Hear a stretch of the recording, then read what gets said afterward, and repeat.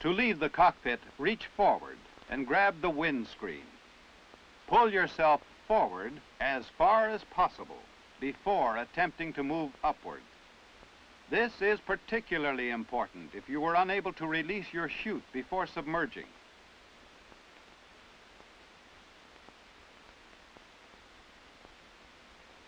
With the plane in nose-down attitude, leaving the cockpit is more difficult. Your buoyancy resists your effort to pull yourself forward. There's greater danger that your chute will hang up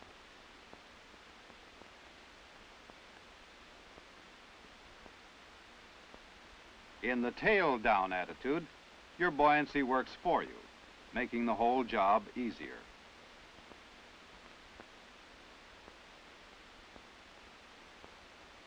In the inverted attitude, follow the same procedure.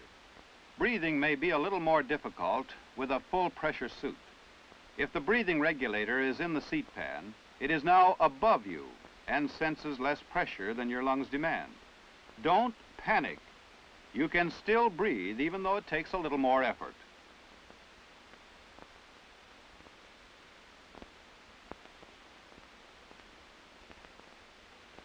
If your chute hangs up, don't try to unfoul it. Every second you waste can send you down another 10 feet. Release the riser fittings and swim free.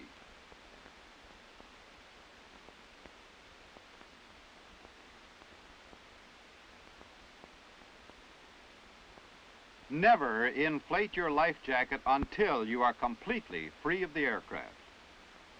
This pilot made that mistake, and this is what happens. He tries to reach his riser fittings. They're no longer where they should be. It's very doubtful he'll find them in time.